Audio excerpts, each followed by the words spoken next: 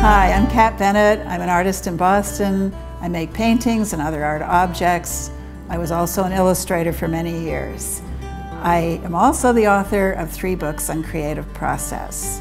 And today I'd just like to tell you about my three favorite brushes. The first is by Princeton. This is a number six.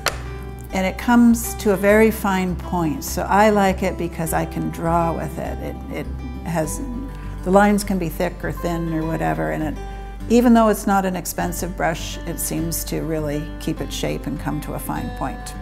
My second one is this fat one. This is a Dick Blick. It doesn't matter whether, what brand it is really. It's a number 30, but it's nice and wide and I can cover a lot of territory in a short amount of time. And I kind of like to cover territory in a short amount of time, so that one really works for me. But my all-time favorite brush is this one. And it's by, also by Princeton.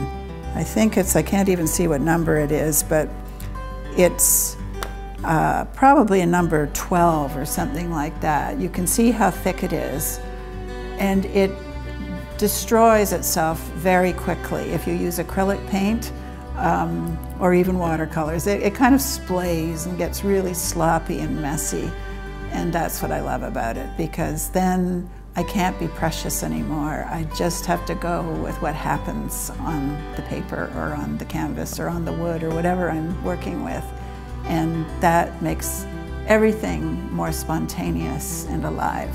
So I've come to love this brush and I actually destroy quite a few of them.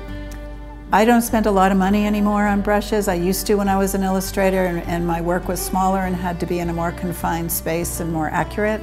Now I don't think it matters so much. I can use these brushes, which none of them are very expensive, and just go from there. So thank you for joining me today and have fun painting.